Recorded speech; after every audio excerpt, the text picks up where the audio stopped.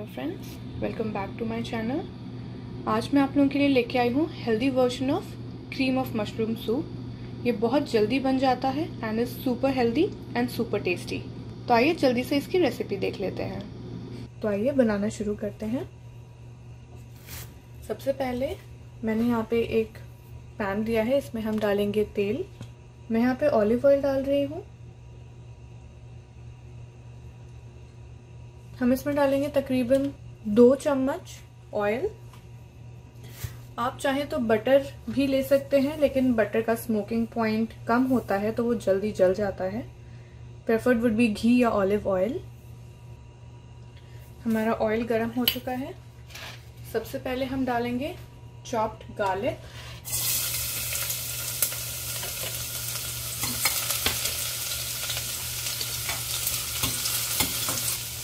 और इसके साथ हम डालेंगे फ्रेशली ग्राउंड ब्लैक पेपर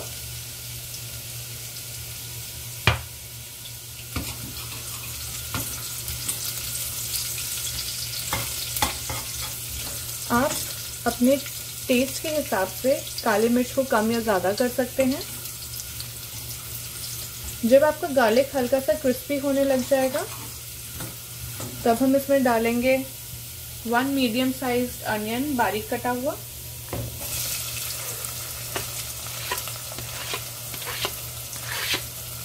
इसको आप चाहें तो ढक दें एक मिनट के लिए। हमें तब तक इसको पकाना है जब तक आपका अनियन थोड़ा सा ब्राउन नहीं हो जाता या हल्का ट्रांसल्यूसेंट नहीं हो जाता। हमारा अनियन थोड़ा थोड़ा ट्रांसपेरेंट हो चुका है। इसमें हम डाल देंगे थोड़ा सा नमक, जिससे जो प्याज है वो अपना पानी छोड़ दे।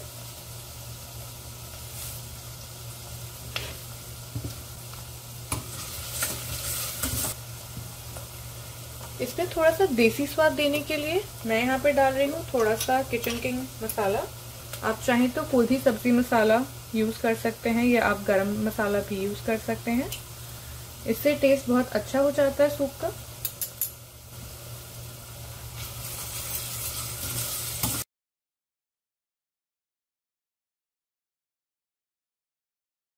अब हम इसमें डालेंगे तीन बड़े चम्मच आटा।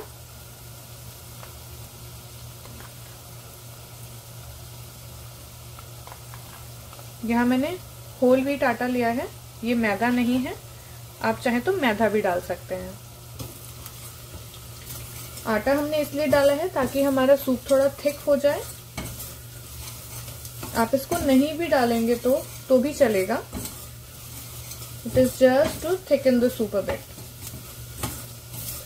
अगर आपको सूप का कलर व्हाइटिश रखना है तो आप रेड अनियन की जगह व्हाइट अनियन यूज़ कर सकते हैं एंड आटे की जगह मैदा यूज़ कर सकते हैं. एंड इन दैट केस आप कोई भी इंडियन स्पाइस मत डालिए. हमारा आटा भुन चुका है, अब हम डालेंगे एक गिलास पानी.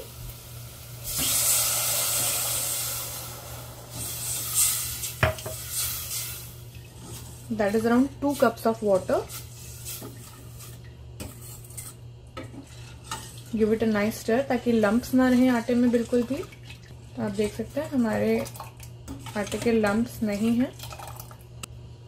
अब हम इसमें डाल देंगे तकरीबन एक कप दूध।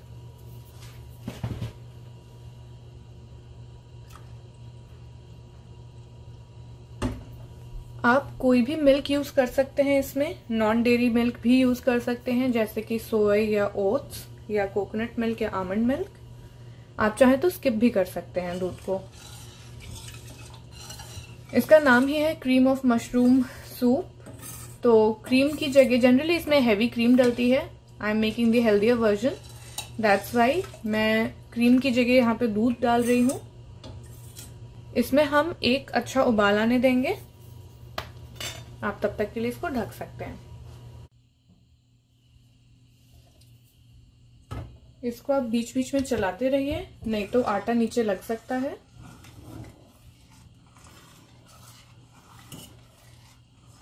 आप देख सकते हैं कि सूप की कंसिस्टेंसी ऑलरेडी थिक होने लग गई है। आप इसको और थोड़ा वॉल्यूम या फिलिंग बनाने के लिए इसमें आप प्रोटीन के लिए चिकन वगैरह भी ऐड कर सकते हैं, या फिर आप इसमें नूडल्स वगैरह भी ऐड कर सकते हैं पास्ता या नूडल हमारे सूप में अच्छा उबाल आ गया है। नीचे से आप इसको एक बार फिर चला लीजिए। अच्छे से चलाना है नीचे से आपको।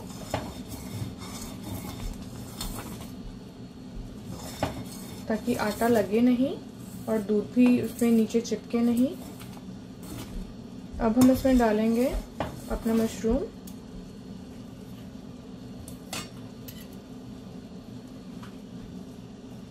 मैंने यहाँ पे तकरीबन 300 ग्राम्स ऑफ़ मशरूम लिया है, जिसको मैंने चॉप कर लिया है।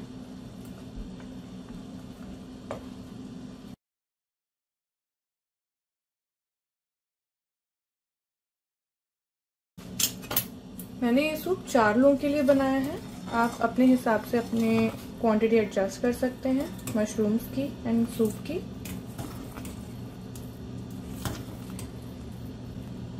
आप अपनी कंसिस्टेंसी अपने हिसाब से एडजस्ट कर सकते हैं। जैसे ही ये थोड़ा सा ठंडा होगा, ये थोड़ा सा और गाढ़ा हो जाएगा। अभी मशरूम अपना पानी छोड़ेगा तो अभी मैं इसको थोड़ी देर के लिए ढक देती हूँ। एक इंपॉर्टेंट चीज़, हम नमक डालना भूल गए तो मैं इसमें डाल रही हूँ। स्वाद के अनुसार थोड़ा सा नमक।